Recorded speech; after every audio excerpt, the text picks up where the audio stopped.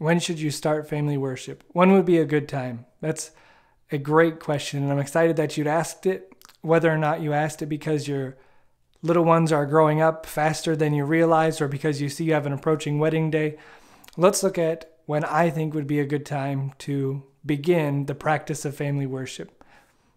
When is that? When you have a family. It only makes sense that family worship should be a habit among families when they are families.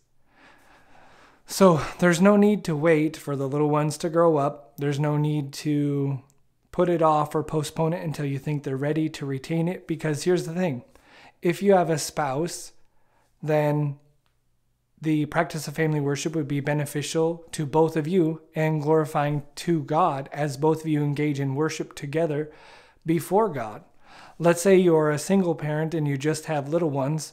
In that instance, it's still a valuable lesson for them, the little ones that is, to learn to sit to while family worship is conducted and it'll be good character building exercise and it'll just be another routine, a habit that's built into them from a youth. As Paul told Timothy that he was caused to learn the scriptures both from his mother and his grandmother. So don't be discouraged if you find yourself in a situation where it's just you and some little ones. But if it's not, if it is you and a spouse or you and a spouse and the little ones, my advice to you is that you should start family worship today very simply by reading together, singing together, and praying together.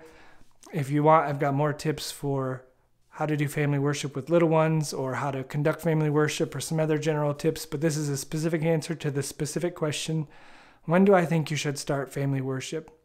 And I think it would be a great blessing to your family if you started family worship now. Don't wait for better instruction. Do not wait for a better example. Do not wait till you're better educated. Start right now. And God, I'm sure, will be glorified in it, and you will reap a harvest from it. I wish you well.